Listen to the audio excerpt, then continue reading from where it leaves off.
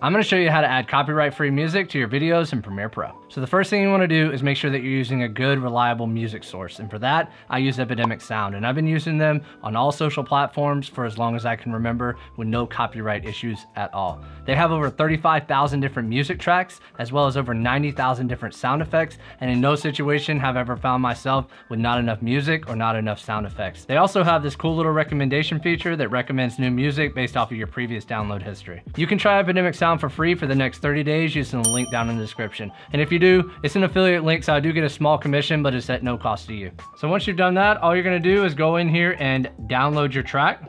Once that's downloaded, go ahead and open up Premiere Pro and then import your music. Then all you're gonna do is drag that onto your timeline, and now you have your copyright-free music. Continue to perfect your skills by checking out this video. Edit like a pro by subscribing and hitting the bell so you don't miss anything. I'll see you in the next video.